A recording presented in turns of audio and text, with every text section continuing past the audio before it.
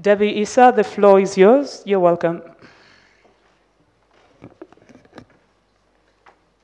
Thank you very much. Um, it's really a pleasure to be here, um, and this is, is, really a terrific opportunity um, to share with you the findings of the World Development Report of 2017 on governance and the law. Um, the report was launched at the end of January, and we've since then been going on a bit of a world tour to try to um, talk about the report. And it's, it's wonderful to be at this particular event because I think the context um, and the issues that you're looking at are so relevant for this report. Um, so the World Development Report this year, um, as you may know, there's, there's a different topic every year. Um, this year, it's about how to promote policies that can effectively promote security, growth, and equity. So that's a pretty ambitious topic, right? It covers pretty much everything we do in development. Uh, but the main focus of this report is not what are the right policies to achieve that aim. We have a wealth of expertise and knowledge um, about what policies, laws, and mechanisms are needed at any given point uh, in a country's trajectory to achieve development outcomes. But what the report focuses on is why, even if we know technically what is the right answer, why is it that these policies either don't get adopted, um, or they get adopted but they don't get implemented, or they get implemented and they lead to perverse consequences. So, what this report tries to do is really move beyond what policies should be chosen to understanding how policies are chosen and how they are implemented. Now, think I'm going to have the same problem here as in Lant. Bear with me. Could I get some help on the? oh, there we go. Okay. Um, so just to talk quickly about the motivation for the report, what are the kinds of questions that we're trying to answer? So three pretty common scenarios um, that I think we'll all recognize. The first, why do ineffective policies persist? So the example that we use here um, is energy subsidies. We know that these are aggressive. We know they induce inefficient energy use. And yet, uh, we know that they're very hard to get rid of.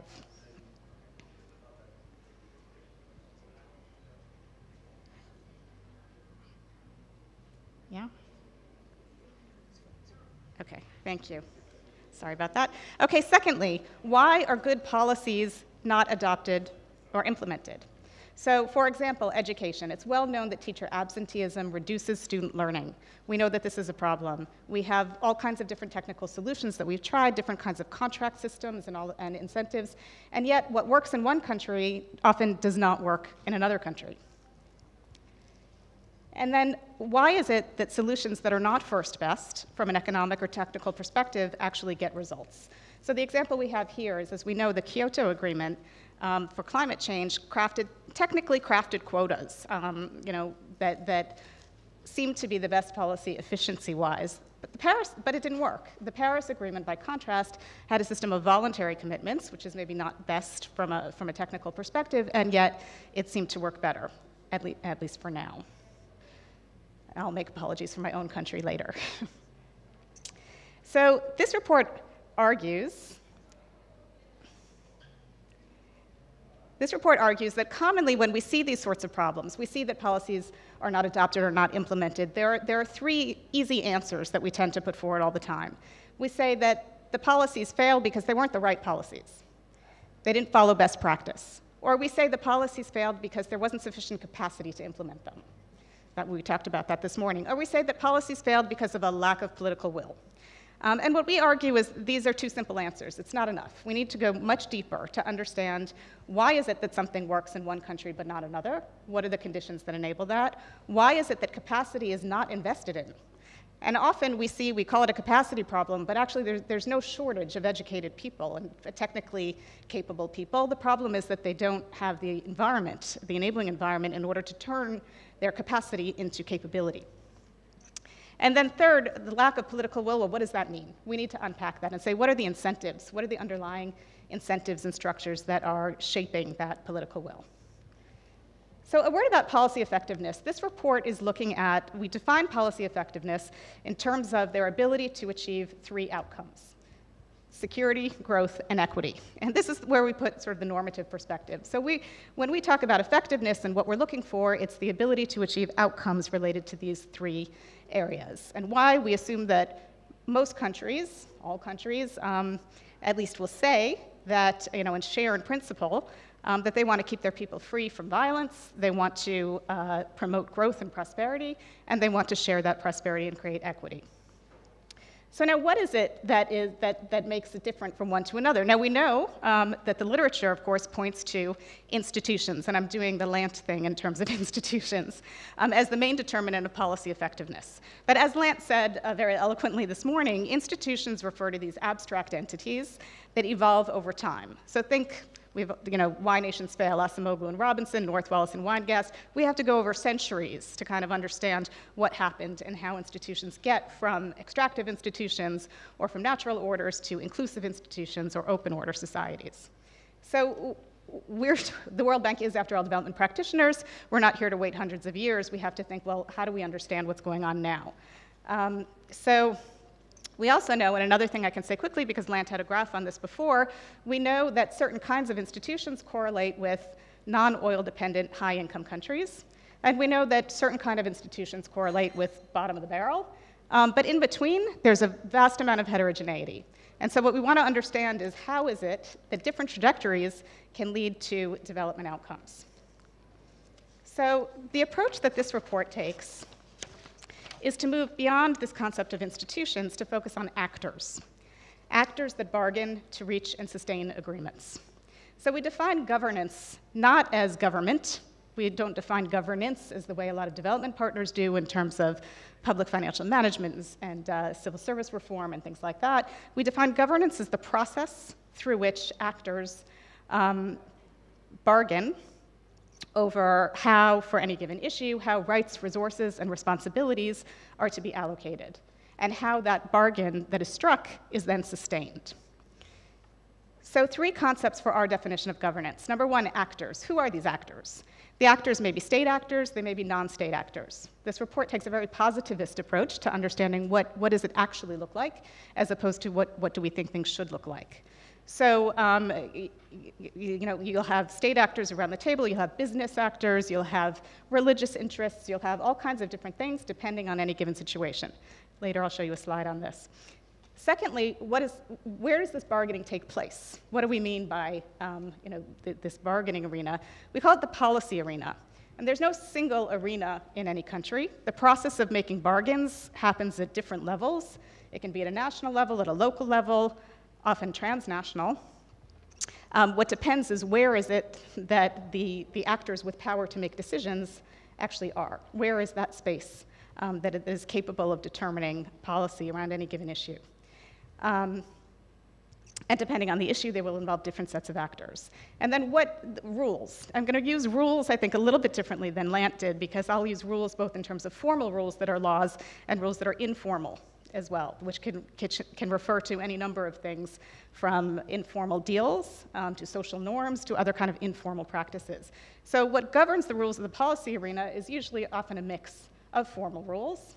Um, at the highest level, you'll have the Constitution that kind of determines what the rules are, who has power um, and who does not, um, and a mix of social norms, informal networks, backroom deals, and the like. Now, the first Sorry. You're right, you have to be very patient with this. Okay, so the first um, main message of the report is to say that what we really need to do um, in trying to improve policy effectiveness is, function, is, fo is focus on function rather than form. So I'm going to start by talking about law for a minute, but then law is sort of a segue into talking about what we mean by function versus form. So we often talk about the rule of law, which most basically is a system where clear laws are enforced in predictable ways that bind citizens and government alike, and how important it is to enable development by allowing clear expectations, a level playing field, and a constraint on the abuse of power. But again, this isn't linear, and this doesn't get plopped down from heaven. It certainly doesn't get plopped over from development actors. So, where does this come from? And just to quote Gordon Brown, when it comes to the rule of law, it's the first five centuries that count. So, instead of focusing on the rule of law and just reinforcing the fact that it's a good thing to have. Um, what this report tries to look at is the role of law. Every society uses law in various ways. Um, law is a critical tool of governments and of development partners. It's used to codify policies and make them binding, We call this law, order, and behavior. It's used to shape the policy arena and enable or constrain power. And it's used as a tool of contestation against that power. But we also know that more often than not, as was discussed at length this morning, um, what is written on paper in law and what happens in reality, there's a huge gap. Um, there's a big implementation gap um, between that is, and what, you know, if you could see on the, um, on the right side uh, of the slide here, this is just an example to show um, countries that adopted gender quotas. And what you have is the dot on the left side is the year that they adopted it, and the dot on the right side is when they actually implemented it. So the first one there is Bangladesh. It took them a good 40 years. Um, the next one is South Korea. It has yet to implement it. This is just one of many, many examples that you could, you could put about um, how it is that laws on paper do not necessarily translate immediately into, into reality. So what, what we try to do is unpack law and two important things um, about this that I want to emphasize. One, law, as in state law, formal law, um, does not operate in a vacuum. It is one of multiple normative systems, we can call them, and socio-legal scholars argue all the time about what is law, what is a social norm, what is other things, but the fact is that law is one among, among many other things that are competing to actually order people's behavior. And those things might include customary law, they might include international law and treaties. They might include private law and contract law. They might include social norms. Um, and so law at any given time is interacting with these other orders. And of course, it's also interacting with power relations. So in order to understand what, what is it that makes law, words on paper, actually lead to changes in behavior, we need to understand how it functionally does that through interactions with these other legal orders and uh, power. So to focus on functions, what we're really interested in is what does it take to get from a policy or a law to changed behavior. And what this report fo focuses on is our, now famous three C's. Now, this is very dangerous because if you think about it, there are many, many C words in the English language that one could substitute, and I've heard lots of different variations of this.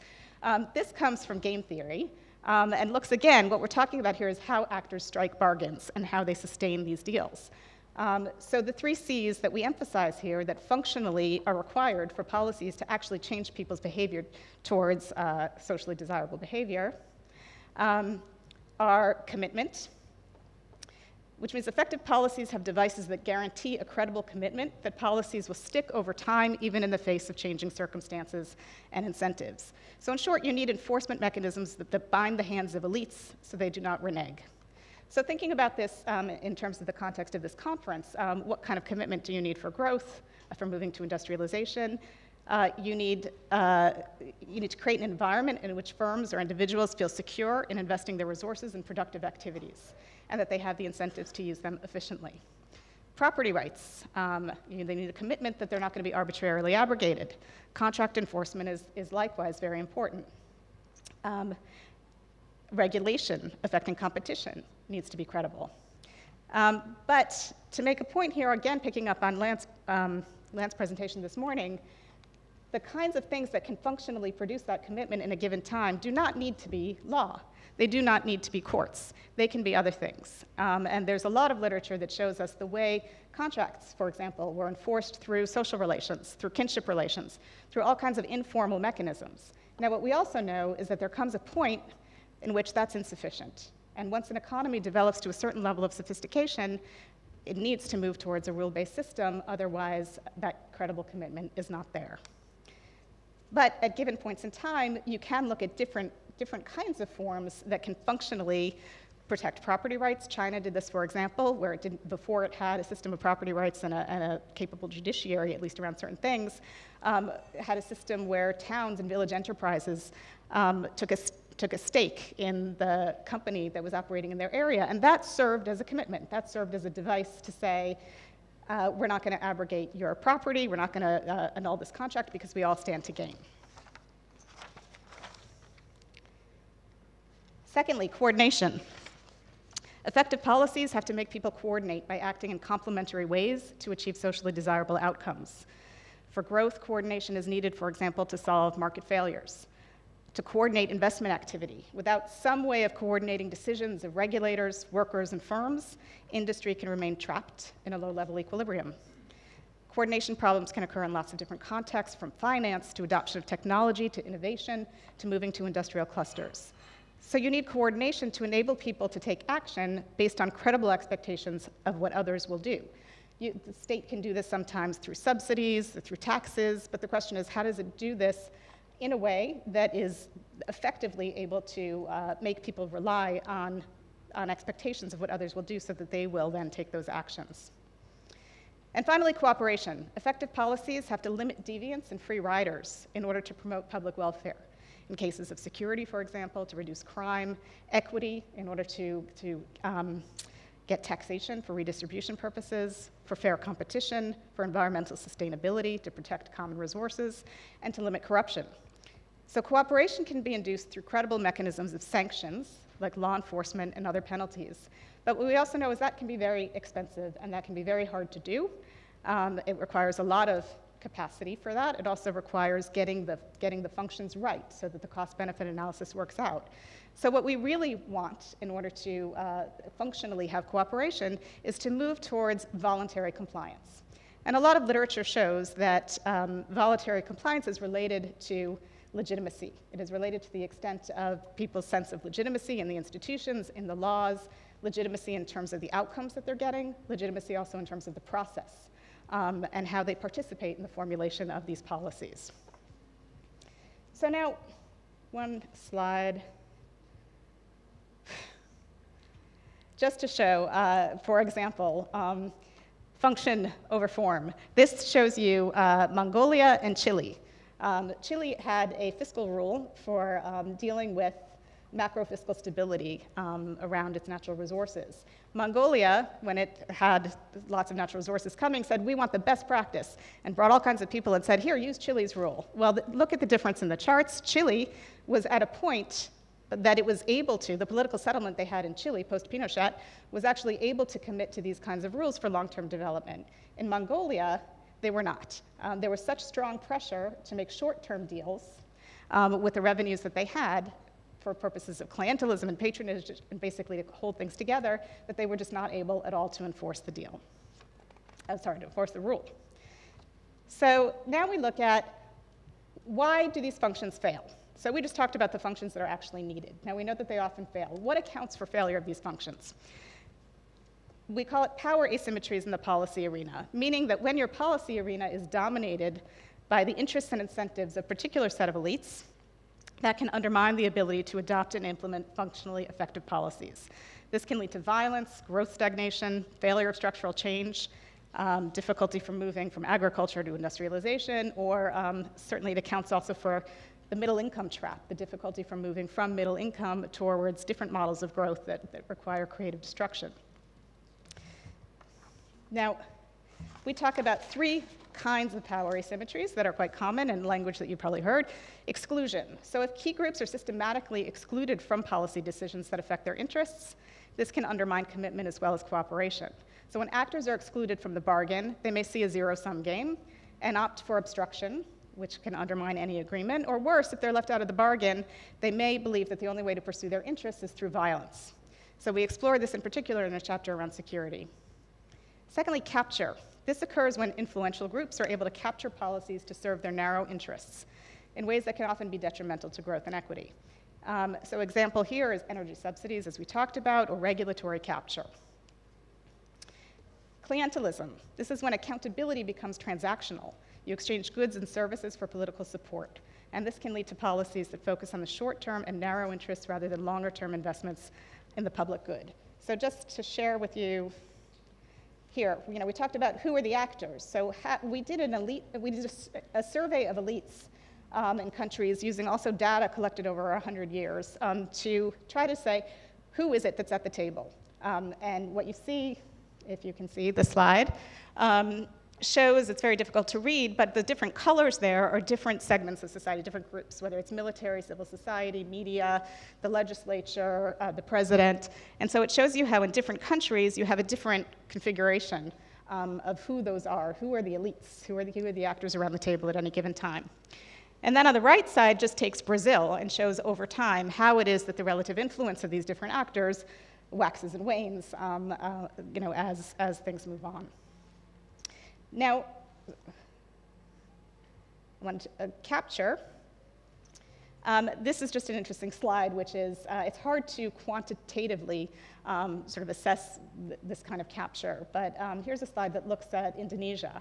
And Indonesia in the mid 90s, um, there were a, um, a lot of the largest industrial groups had very strong connections to President Suharto. And what this graph shows is between 95 and 97, there were rumors about Suharto's health. And uh, each time, the more closely industrial groups were connected to the president, the more their stock value fell. So, and in the more serious the health rumor, the, the greater the fall in stock values. So this decline, you know, it was determined this was not connected to any other conditions in market or productivity. So it's a bit of a proxy for the private benefits of being able to capture policy through political connections. And then finally, just to show clientelism, how this effectively is a reversal of the principal-agent relationship. Now, one thing that I want to say about these, we should not look at these as necessarily dysfunction or deviance. Um, these kinds of uh, power asymmetries, as we call them, or these, these, these symptoms of power uh, asymmetries, are there for a purpose. They are basically sustaining the deals that are made. So, um, sorry. Um, so, in other words, capture and clientelism, we can say this is bad, but you can't just eradicate it, because if you do, then the question is what is holding the elite bargain together? Um, if effectively what is happening is capture is enabling certain, the exercise of power through certain sorts of ways, um, then you need to ask yourself, well, what is the alternative way of being able to do this, and are the conditions for that there before you can actually get rid of capture? So now, how do we change it? This slide is a visual depiction of the report's conceptual framework. So in the middle, we have the policy arena. And what we see is a two-level game. The right side shows policies emerging from the policy arena, leading to outcomes. This is where, we, this is where we usually focus, how to make those policies right and to try to get them implemented. Okay. But the adoption and implementation, uh, sorry, but the adoption and implementation of policies is shaped by the second game, what we call here the rules game, which is the one on the left. And sorry, every time I click this, it goes away. This is the way the rules, whether they're formal and informal, shape the policy arena by determining who is at the table and whose interests and incentives prevail. And what we argue is that we need to be paying a lot more attention to the rules game in order to maximize outcomes coming out on the right side. Now, another point about this, persistence. The literature really emphasizes persistence. And this is a very endogenous dynamic. I mean, it's effectively an, an infinity loop. Um, and the factors that determine the nature of the policy arena are highly endogenous to a country's historical trajectory, social norms, beliefs, path dependencies, and they tend to reproduce the same kinds of asymmetries. Um, so for this reason, it's very hard to break out of the equilibrium. But you can. Uh, lots of countries have, and we try to understand what are the conditions under which you can break out of these equilibria and move from a deals-based sort of power asymmetry context to one that is more rules-based. So change happens via three key levers that change the nature of the policy arena so it can deliver on the Cs, the three Cs. It, you can change the incentives of the actors in the policy arena. You increase the reward, lower the cost of taking developmental actions. You can change their preferences, via evidence, norm diffusion, different kinds of ways. You can increase the contestability of the arena, which is basically changing who, who's at the table. Um, might change the policy arena, who gets to make those decisions, and the rules of the bargains. So where does this change come from? We could wait the hundreds of years that Acemoglu and Robinson tell us about, um, but we're, we're going to point to a few things um, that one can look at. You know, one is external shocks um, internal demographic changes, development itself. Um, so what we have here in these charts is looking at Latin America. Um, and what we see on the left is that growing middle class over time changed preferences and demand.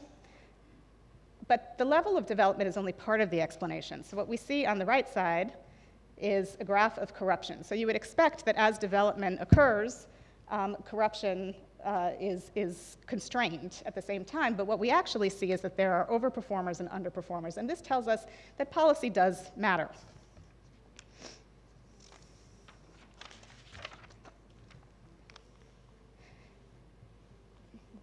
So how can change be brought about? So if we understand what are the levers of change, how do we get there? Other than waiting for external shocks and other things to happen. So we look at three agents of change. One is elite bargains. So how do elites, uh, how, do, how do agreements among decision makers to restrict their power come about? Why would elites choose to bind their own hands and move toward institutionalization of, of rules rather than deals? Well, things are happening all the time, right? They have, to, they have to be adaptive to different kinds of circumstances that are going on, whether they're fights between elites, whether it's pressure coming from below, whether it's some kind of external shock, or something that is going on. So the big question is how do elite bargains adapt to changed circumstances? And unfortunately, often they don't adapt. And that accounts for the statistic that low and middle income countries experience violent transitions every eight years on average. So when they do successfully adapt, what does that look like? So there are two, two real reasons. Sorry, I'm, I'm almost finished. So there are you know, two reasons that we see from different countries as to how, what, how it is that they adapt and agree to bind their own hands. One is when it strengthens their authority in the long term. So for example, uh, to incorporate additional powerful groups into their coalition. So China, for example, at a certain point, the Communist Party of China welcomed entrepreneurs into the party. Um, and it did that because it wanted to stay in power and saw a potential threat there. Now, having done that in order to maintain themselves in power, that changed what was coming out of the policy arena, and you saw a lot more pro business kind of things coming out of that. Um, or you can also see it change in reaction to threats from citizens. That you'll see in, in Morocco, for example. They escaped the Arab Spring because they, they anticipated and started putting some, some accommodations into place um, for citizens. The other reason that you see elite bargains um, adapt to rules-based is to provide insurance against a future loss of power. So in a competitive system, to lower the cost of losing, uh, you, you want to subject, if you think you're going to lose, you want whoever's going to be in power to be bound by rules. So this is a reason that you might actually start to agree it's in everybody's interest there to have more rules. Um, now, this can happen in either sort of across the board kinds of things like that, or sometimes we see it in pockets of effectiveness, where you have narrow space in which elites are incentivized to create bureaucratic effectiveness, for example, around commercial dispute resolution or particular kinds of regulations. So even when these things are done out of elite interest, the impact is to change the policy arena. And the question is, can these changes create virtuous cycles of change? Now, very quickly, um, I will just talk about citizens.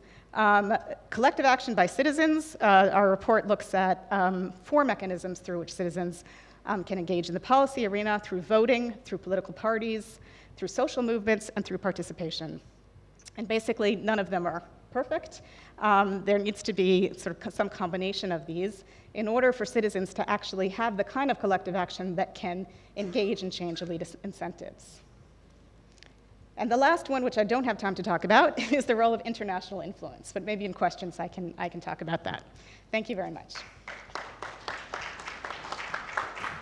Thank you very much, Deborah. I really have to apologize because lunch took long and we don't have much time. Uh, what I can say maybe before Professor Lars Osberg, uh, just contribute also very briefly, I will be even brutal with Lars than, than Deborah uh, is that maybe we also need another time to have more extensive discussion here. Maybe Repoa, Steve, and Yutaka, you're here.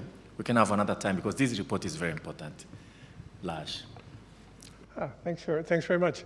Uh, so I'll try to speak a little bit quickly. Um, I found this a, a, a, really interesting document uh, to read. There are, there are lots of very reasonable sounding statements.